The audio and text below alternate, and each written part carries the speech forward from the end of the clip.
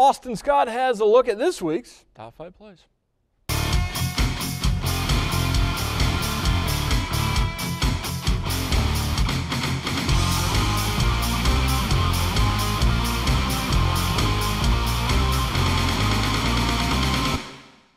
My colleagues Matt Finkel and Mark Coons help kick off this week's countdown. Fly ball to left field. That'll get over Durliott's head, and that will bring in Sheldon for the game winner.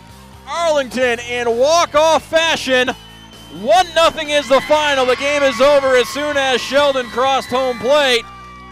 Johnson does circle. We have more softball action from Matt Finkel and Mark Coons at number four. Of course, the lights are on here at Faurot Park.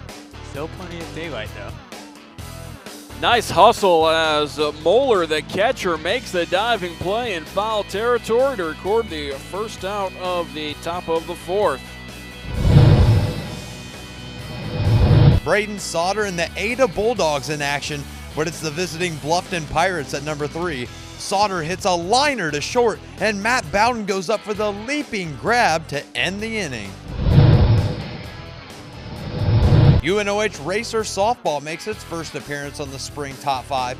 With the bases juiced, Haley Ellis comes up to the plate and drills one to left field, and it's over the wall for the grand slam. It's April and we have football on the countdown. I love it. Joe Burrow back to pass, looking across the middle, and it's Jerome Baker leaping for the one handed interception.